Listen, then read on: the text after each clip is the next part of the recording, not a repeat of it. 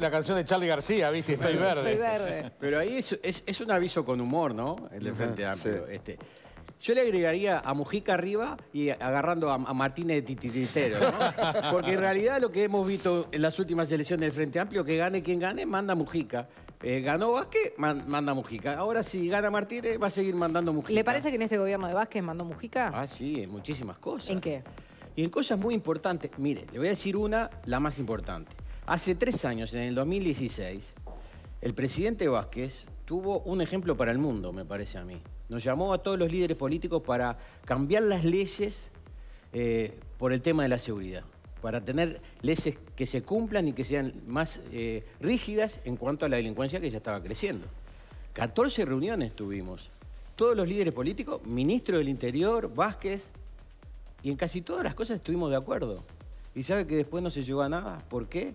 Porque el MPP y Mujica dijeron que no. Mm. Ahora, justo, Eso Mar- es uno de los ejemplos. justo Martínez es una persona que, que se ha enfrentado a, al Sí. MP y a Mujica porque de Y lo hecho imita también no ahora. hay una buena Ahora también lo imita. ahora también lo imita sí porque no hay una buena sintonía y cuando Martínez llega a la intendencia lo que hace no es ir por un gabinete sectorial como se venía manejando la intendencia de Montevideo decir uno del MPP uno de socialistas sino que arma un gabinete que él considera gente idónea capaz eh, técnica y de eso de alguna manera corta y se enfrenta a cómo se venía manejando MPP le puso a Luciano Polanski para Tenía enfrentarlo. mayorías, tenía mayorías, pero ahora en el Senado, en el gobierno, con la mayoría del MPP, no va a poder gobernar. Ya Mujica pone la impronta, dice, salgo cuando quiero, digo lo que quiero, sale y dice lo que quiere, desprecia, desprecia a todos. Hay que parar un poco con ese Pero tema, pudo, ¿no? pudo, pudo manejar la intendencia con el apoyo del Partido de la Gente, Martín. Por supuesto. Y eso puede en pasar. cosas por, por la gente. Y por supuesto que sí. Yo quiero, por ejemplo, yo le digo, este año yo voy a trabajar mucho para que gane la oposición. Creo que el país necesita un cambio. El Frente Amplio está desgastado, se están peleando entre ellos. Y yo voy a luchar por la oposición y voy a tratar de hacer todo lo que tengamos, nuestros asesores, nuestra gente, nuestra propuesta, en bien del gobierno. Y yo quiero que gane la oposición, lo dejo claro. Si ganara Martínez y yo mañana tuviera que votar algo que es bien para la gente y que la gente sirva por ser oposición, no lo voy a dejar de hacer. Yo lo que hice en, la Intendencia de. Montevideo, que me pegaron porque dijeron, está votando con el Frente Amplio, lo volvería a hacer porque es por el bien de la gente. Ahora, ¿sabe que van a ser casi cinco años que le voté eso a Martínez porque era urgente? Y no hizo nada, ni siquiera empezó la obra. Venimos, ahora venía este, de mi casa, está todo, todo Montevideo dado vuelta, la gestión es impresionante. O sea, yo quiero ayudar a la gente y voy a votar. Y si mañana Martínez, ojalá que no, lo es, voy a seguir votando por eso. Lo que hice en la Intendencia este, lo volvería a hacer con toda gana, porque me parece que eso es lo que hay que cambiar en la política. No puede ser que votemos algo siempre por nuestro bien, por nuestra chacrita, por nuestro partido, por nuestro puestito. Vamos a hacer cosas por el Uruguay. Y eso es lo que yo estoy dispuesto a hacerlo. Eso lo haría No en te- el caso de llegar al Senado, que según las encuestas estaría llegando. Claro, y eso es lo que yo quiero. Yo quiero que la gente me vote en el Senado porque del Senado quiero cambiar muchas cosas. Quiero ponerle otro ritmo al Senado, quiero que trabajen más tiempo, quiero que ganen menos y quiero unir a todos y que todos los que están en el Senado piensen siempre por el bien del país. Hay muchas cosas para hacer por el país y yo quiero que la gente me dé la oportunidad de estar en el Senado porque quiero, quiero poner mi experiencia, mis ganas, mi, mi- mi forma de ver las cosas pensando con un optimismo que el Uruguay se puede cambiar, que estamos a tiempo. Hablaste de cambiar. bajar eh, la cantidad de legisladores y también un 30% de los sueldos. La última encuesta de Factum dice que un 80% está de acuerdo en bajar el sueldo de los legisladores. Claro, lo que, lo que pasa que yo digo es, eh, el trabajo de los uruguayos está siendo amenazado, muy amenazado. Uno de los temas por que está siendo amenazado es por los altos impuestos, por el IRPF y por las altas tarifas. Ya no se aguanta más pagar lo que se paga de gas, de agua, de luz, de combustible. Están cerrando comercios, chicos, grandes, productores se están fundiendo, industrias que se van. Para que eso no siga pasando, hay que bajar los impuestos. Cuando muchos hablan de que no voy a subir, no voy a subir, no. En las condiciones que están los impuestos hoy y las tarifas de hoy, siguen cerrando comercios. Y la gente se sigue quedando sin trabajo. Hoy hay 355 mil uruguayos con problemas de empleo. 158 mil que no tienen trabajo, 41 mil que ya no buscan trabajo porque están desilusionados y 156.000 uruguayos que trabajan menos horas de las que quisieran, menos de 25 horas semanales. Eso es el 20% de la población activa. Todos los partidos políticos y la mayoría dicen que hay que gastar menos. No hay duda que todos dicen que hay que gastar menos. Algunos dicen mil, otros dos mil, otros mil quinientos. Hay un estudio del BID que vino de gente seria y dijo que el gobierno malgasta 3.7 del PBI. Son 2.200 millones de dólares. Es un estudio serio. Creo que se puede llegar a eso. No tengo ninguna duda que con gestión y con mucho trabajo se llega a eso. Yo digo que los primeros que tienen que dar el ejemplo son los políticos. No puede ser que ganen lo que ganen y que trabajen tan poco. Y es una señal que tienen que dar los políticos a la población. ¿Hay que ajustarse el cinturón? Bueno, vamos a rebajarnos el, el, sueldo. Y yo lo que digo, yo quiero que la gente me vote en el Senado, porque desde el Senado voy a proponer que los senadores y que los diputados se bajen el sueldo a la mitad. Me parece que es una señal, no alcanza. que van a apoyar tu idea? No está solo, porque a ver, Unidad Popular eh, propone también una reducción del legislativo, Cabildo Abierto propone una reducción del legislativo. Genial. Eh, el PERI, César Vega, propone Bueno, ya tenemos unos cuantos votos, pero Son como cuatro que Es que mire, es, es, que otra cosa que yo digo es, un país de 3 millones necesita 99 diputados, 30 senadores. Mire, yo le voy a decir una cosa. Realmente no mueve la aguja, ¿no? El salario, el salario de los Es una señal, hay que dar el ejemplo. hay que dar el ejemplo. Yo más que señales quiero... Le voy a decir, no, pero hay, hay que empezar... No, que se corrija la trayectoria. Cuando uno empieza a ahorrar, hay que ahorrar por todo. Mire, no solo 99 diputados. Yo le quiero poner un ejemplo. ¿Por qué Italia, que son los reyes del Parlamento ahora, que tienen 600 diputados, votaron ellos, bajar a 400? ¿Y sabe cuánto es 400 diputados en Italia? Es un diputado son 60, 70 millones cada 150 mil habitantes. Si Uruguay tuviera la misma proporción, tendríamos 150, 20 diputados. Y yo le estoy pidiendo bajar a 50. Estados Unidos es 100 veces más grande que Uruguay. Entiendo. Tendría que tener 3.000 senadores y tiene 100 senadores. Eh, eh, Chile también acaba de proponer la baja. Eh, Argentina, que es 10 veces más grande, tiene 250 diputados. Hay que dar una señal, pero no solo es la cantidad de diputados. Hay de, más de mil personas que trabajan en el Palacio Legislativo, en la administración del Palacio Legislativo, que eso sí son como 140 millones de dólares y son cargos de confianza, compromisos políticos de todos los partidos políticos, Frente mm. Amplio, Blanco, Colorado, que han agrandado la administración del, Palacio Legislativo. ¿Cuál es el costo, el total del Parlamento y eso alrededor de 140 millones de dólares. 140 millones de dólares lo que, es el costo que cuesta el Parlamento en el año. En el año. Pero mire, pero además eh, puedo decir una cosa, mm. no sea malo.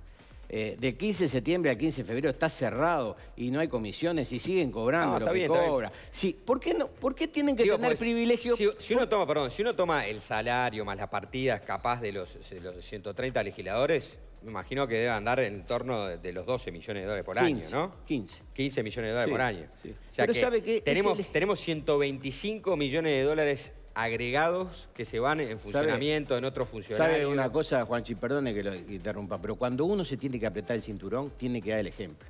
Es como cuando en la casa, uno en la casa de cualquiera, eh, está entrando menos plata de la que gasta y viene el ama de casa o el, el, de la casa y dice, señores, vamos a ahorrar. Y ahorrar es apagar la bombita. No prendas el calefón cuando te vas a bañar. Y si viene el hijo y le dice, ah, pero papá, ¿qué te hace una bombita? No, es el ejemplo. Y los políticos tienen que dar el ejemplo de que vamos a ahorrar, de que vamos a trabajar, de que vamos a defender el trabajo, porque si no, yo como le digo a la gente que hoy yo cobro 30 veces más que un salario mínimo y que trabajo solo tres días por semana y que me tomo 50 días por año y después puedo pedir aparte 30 días más de licencia. Demos el ejemplo. Las primeras dos meses de vacaciones de diciembre a febrero, te, agarrás el gustito. ¿Cuándo es la última vez que tomaste dos meses de vacaciones? Y, a, usted no le gustaría tener todos los fines de semana libres del año? Entonces digo, me parece que, a ver, Uruguay puede atravesar una crisis. Ya estamos en un problema de trabajo.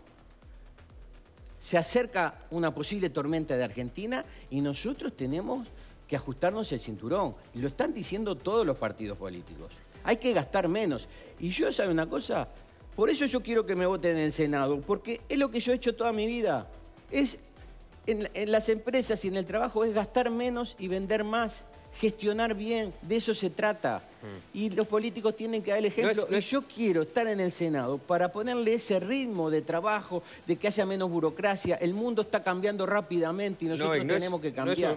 como el último manotón del abogado, haber, haber traído a Julián y haber hecho un montón de propuestas sobre seguridad, después este, haber puesto el énfasis en el empleo, en los problemas de empleo y finalmente terminar pidiéndole un ajuste a, los eh, legisladores. Eh, eh, es malo, Juan es malo. Tiene esa, esa cosita de malo. Yo hice todo el esfuerzo por mi país y yo lo que estoy haciendo es por mi país. El problema de seguridad era el problema que más angustiaba a todos los uruguayos. No ha cambiado, ¿eh? No ha cambiado. No ha cambiado. Yo, yo traté de tener los mejores asesores y profesionales uruguayos, hicimos un, equipo enorme de uruguayos. Y después dije, ¿quiénes son los mejores del mundo? Y fui a buscar a los mejores del mundo en materia de seguridad para que ayuden a quién. ¿A mí? No, Juan. Para que ayuden a Uruguay. Y yo quiero traer a los que tienen el know-how. Es como si usted mañana quiere poner una hamburguesería y dice, sí, yo sé, compro carne picada, pongo a este, pongo al otro, compro la... No, va a traer a los mejores, no quiero decir las marcas, que venden hamburguesa, y los trae acá y Giuliani, que son los mejores del mundo porque terminaron con la inseguridad en Nueva York, que viven 16 millones de personas por día, y lo arregló en Colombia, y lo arregló en Manaus y en muchos países de Centroamérica. O sea, esto no es teoría, esto está comprobado. Y yo traigo a los mejores para que nos den el know-how, el conocimiento, para que diga, vamos a arreglar la seguridad en este país. ¿Y sabe lo que me dijo Giuliani cuando lo dejé en el aeropuerto? Novik, la seguridad en este país la arreglamos en un año con esta propuesta. Y, lo creo, si lo arregló en tres años en Nueva York. Bien, pero digo, más allá de, qué priorizaba antes y qué prioriza ahora, tiene el 2% en las encuestas, y eso es la no, gente. No, no, perdón, eh, yo hago una aclaración. El 2% le da Factum, pero el resto de las encuestas le dan en el torno del 1%. Sí, bueno, ahí va, algunos un poquito menos. es una diferencia importante, porque con el 2 uno puede tener mayores por aspiraciones que con el 1. Por eso, ¿sabe qué? Como tengo eso, yo le quiero decir a toda la gente que me está escuchando que me vote. ¿Por qué? Porque en octubre se vota el Senado. Después van a poder votar al, presidente en noviembre. Pero todos los que quieren votar a la oposición, yo les digo, ¿saben qué? Eh, la calle y la rañaga seguro que van a ser senadores. Eh, Sanguinetti y Talo van a ser senadores. Manini va a ser senador. Denme la posibilidad de que yo también esté en el Senado con ellos y hagamos un Senado fuerte, entre gente capaz, entre gente que quiere trabajar y que quiere cambiar este país. Y, ojalá capaz que venga acá y yo les dé una sorpresa a ustedes, como les di acá cuando vine eh, antes de la elección interna y tenía el 5% y después volví y tenía el 24% porque el, el viento final hizo que mucha gente, como veo ahora, mucha gente en las calles que está viendo un cambio donde están cambiando mucha gente y yo les puedo asegurar que recorro los barrios de Montevideo, del interior, y hay más del 25% hoy todavía de gente que no sabe a quién va a votar y yo tengo todas las ganas, toda la fuerza de decirle que nos voten porque yo quiero cambiar este país y la gente sabe que lo voy a hacer con trabajo y con forma honesta. No, no, no, yo le pregunto, eh, perfectamente, yo creo que el Partido de la Gente el Senado, bueno, según las encuestas puede ser complicado, pero no va a ser complicado. Un, diputado, un diputado eh, seguramente vaya a tener. Ese diputado va a ser Daniel Peña. No, vamos a tener un senador y vamos a tener varios diputados. Va, a ser así. ¿No, considera que puede correr peligro el partido de la gente si, si tiene solo un diputado? Eso pasa a todos los partidos políticos. Hubo cambio de diputados, de senadores, de todo. Bueno, por eso. nosotros. Y el partido de la gente también fue gente que se fue del, Partido Nacional. Vamos a tener un senador, vamos a tener tres o cuatro diputados y vamos a ayudar a que cambie el ritmo en el Senado, en diputados en todo lado. Eso es lo que queremos y es lo que queremos poner a disposición de este país. Y además yo estoy convencido, por eso estoy en... Mm. ¿Por qué estoy en política? Primero, porque las cosas no están funcionando bien. En seguridad tenemos la peor inseguridad, la educación es malísima, la atención de la salud cada vez peor y todavía ahora la gente se está quedando sin trabajo. Yo quiero decir que el Uruguay está a tiempo de cambiar, estamos a tiempo. Yo tengo esperanza de cambiar mucho y yo quiero ayudar a este cambio del país y tengo toda la confianza de que ha hecho un enorme esfuerzo personal. De hecho, ayer veía en Telemundo eh, cómo está distribuida eh, este, el gasto en, la campaña y teníamos al Frente Amplio arriba de los 4 millones, el Partido Nacional con 2 millones y poco, y el tercer lugar estaba el Partido de la Gente, con un millón y, pico. Están preocupados tus competidores de los caros que te están saliendo los votos, dicen. Pero es mía la plata, y la gané trabajando. Lo demás no creo que hayan puesto plata de ellos. Son la mayoría donaciones, está bien. Pero digo, mire la diferencia, y lo hago con gusto, lo hago por mi país. Yo empecé con un, un empleado y ahora le doy trabajo a más de 500 familias. Lo que tengo me lo dio este país trabajando en forma dura, en forma honesta y ahora quiero invertir para este país para que me dé la posibilidad de hacer cosas también por la gente. ¿Y no es válido eso? y decía, decía que los, del Frente Amplio se están peleando todos, pero, pero la oposición, los del Frente Amplio dicen, oh, la oposición la va a tener brava con una coalición.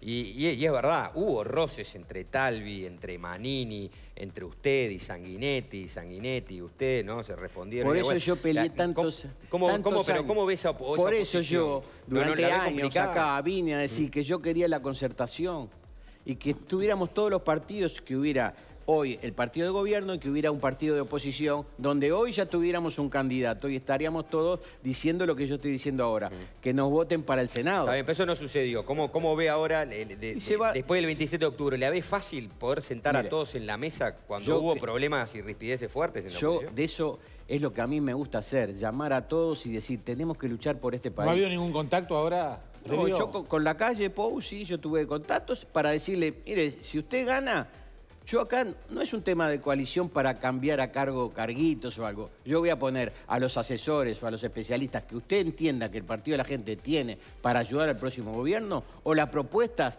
como yo creo que en seguridad el Partido de la Gente tiene la mejor propuesta de tolerancia cero y 50 medidas para terminar con la delincuencia y las propuestas que tenemos también de trabajo, las vamos a poner a disposición del próximo gobierno. ¿Con Manini se ha o hablado también? No, he tenido charlas antes de esto eh, eh, conozco, es una persona de bien, tiene todo el derecho, pero creo que en el tema de seguridad estamos más preparados el partido de la gente que Cabildo Abierto. Ellos mismos han dicho, por la reforma de la Rañaga, el propio Manini dijo, los militares no están preparados para combatir la seguridad en las calles. Los que sí estamos preparados para combatir la seguridad de la calle es el plan que tiene el Partido de la Gente, secundado y asesorado por nada menos que Giuliani, que son los mejores del mundo. ¿no? ¿Y eso lo ha hablado en el, en el caso de hacer esta coalición, que se tome en cuenta esas 50 medidas? Está a disposición. Yo lo he hablado con la calle, le dije está a disposición, si él entiende que lo puede venir, y un asesoramiento externo, como debe haber en muchas cosas, como tengo los asesoramientos de los profesores y alumnos de Harvard que dijeron hacia dónde tiene que ir Uruguay dentro de 10 años. ¿Al final el gobierno no tomó ninguna de esas propuestas cuando se las presentó a Vázquez? No, no tomó ninguna, dijo, algo ya estamos haciendo. Y Giuliani dijo, pero están haciendo mal, ¿qué es lo que falla el gobierno? El gobierno ha tenido muchas cosas, buenas ideas, mm. pero después falla en la ejecución, falla en la gestión. Gabriela Fulcor, las últimas horas, la presidenta de Liniza, habló de alguna posibilidad, eh, fue a título personal que lo dijo sobre el servicio militar obligatorio. ¿Estás de acuerdo? No, no estoy de acuerdo, creo que, es una confusión. Bueno, en eso están todos diciendo hoy lo mismo del Frente Amplio, cosas diferentes. Vemos a Mujica diciendo disparates. Pero le voy a decir una cosa, hay una cosa que últimamente este, estoy de acuerdo con Mujica. Mujica ha hablado de los debates y dijo que los debates no inclinan la balanza. Y Mujica dijo que en vez de hacer debate, los candidatos deberían hacerse un examen, a ver si están capacitados. Y yo digo, Qué lástima que no le hicieron un examen a Mujica antes de ser presidente, ¿no? Porque lo más probable es que no lo hubiera aprobado y las cosas que no hubiéramos ahorrado en este país, ¿no? Así que en algo estoy de acuerdo con Mujica. Eduardo, ha sido tema de, campaña tu planteo sobre eh, cuidar el trabajo de los uruguayos. Te han criticado por el lugar en que colocabas a los inmigrantes. Concretamente, ¿eso cómo se bajaría a tierra? ¿Qué es lo que estás La primera cosa yo lo vuelvo a decir. No tengo nada contra los inmigrantes, lo he dicho diez veces. Pero hoy arranqué hoy la conversación diciendo, el trabajo de los uruguayos hoy está amenazado por tres cosas. Primero, por los altos impuestos y las altas tarifas, donde están haciendo cerrar empresas, comercios de todo tipo.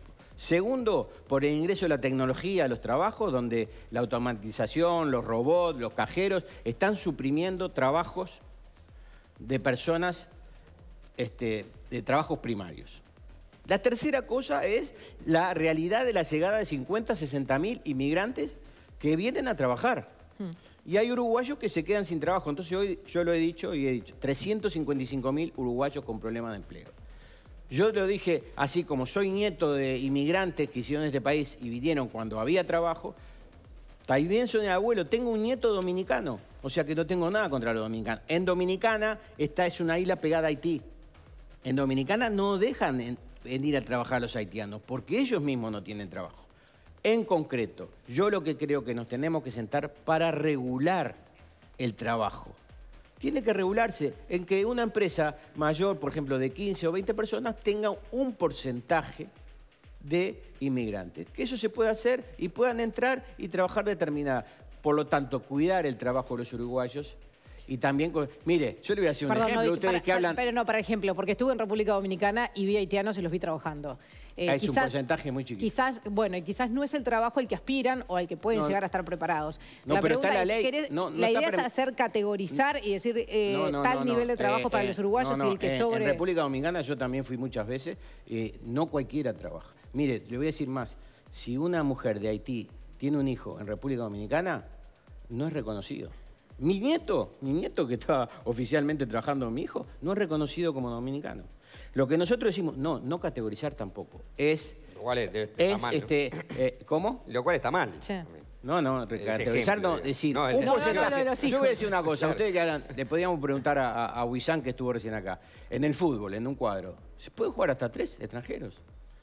Y está bien, y que jueguen tres, que se elijan los tres. Y en una empresa también, regla- reglamentar. Yo lo que quiero, y también está en la Constitución, que un Cupo para, los, gobernante... cupo para los inmigrantes sería la propuesta.